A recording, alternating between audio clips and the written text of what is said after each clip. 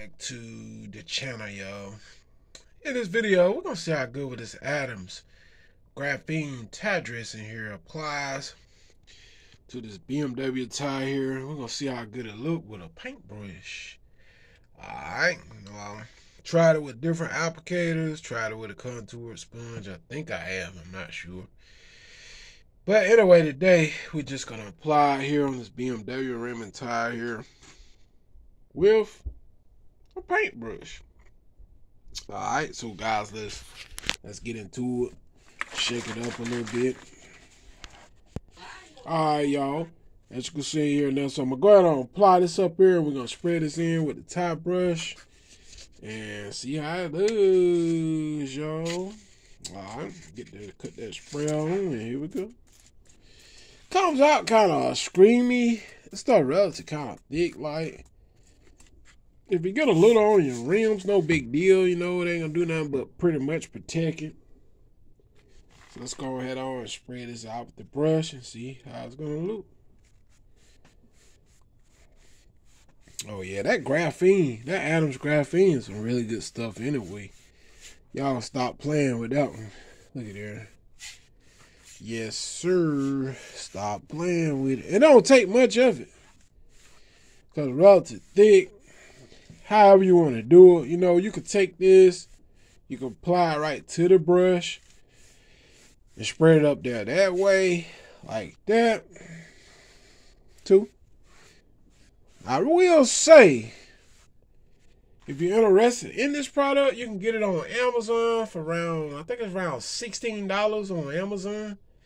So uh, that's just, yo, it's, it's a really good product there, yo. Yes, sir. Check it out. It don't take much. Um, if you want to, you can apply right to your paintbrush and then spread it that way. But like I said, I just make it easy. Uh, just shoot it right to the tire. We can hit it again. Don't take much. As y'all can see how it comes out. Uh, it comes out. It's relatively thick product, so make sure you shake it up pretty good or whatever when you get ready to use it. So uh, let's um let's go ahead on brush this in. This stuff works amazing. I never really tried it on wiper trim, but we will maybe tomorrow we'll try it on wiper trim or whatever. So let's spray that bad boy in. Let's see what we, the second coat here. Yes, sir. Stop playing with Adams. Now everybody coming out with the graphene tie dressings now. So hey. And some of this stuff is relative thick, man. To tell you guys the truth, this stuff be tearing applicators, you know what I'm saying? It's like Adam's got a good one though, which I have somewhere. Applicator.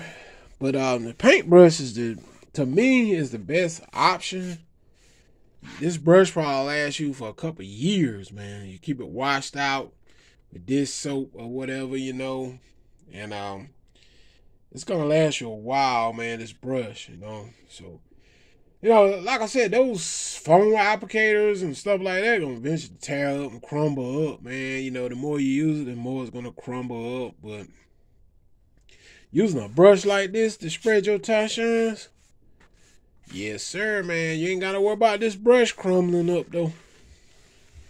Go right on around here with it. Yes, sir. Stop playing with it. Yep, just brush it right in. Give that nice gloss. And y'all see it. If you, like I said, apply with that brush. If you're interested in this product, you can get it on Amazon for around $16. It is some really good tie shine. Yes, sir. It is some really good tie shine from Adams. That graphene, you know, that's the way to go now. You know, a lot of companies coming out with that graphene ceramic tie shine these days. So, yes, sir. That's what you get right there, though. Yes, sir. All right, y'all. Hope y'all enjoyed. We're playing it out with the brush. If you're new to my channel, don't forget to hit that subscribe button so you can get every update that I put up. Alright, hit that subscribe now. Don't forget it. Till next time, your boy is out of here. Peace.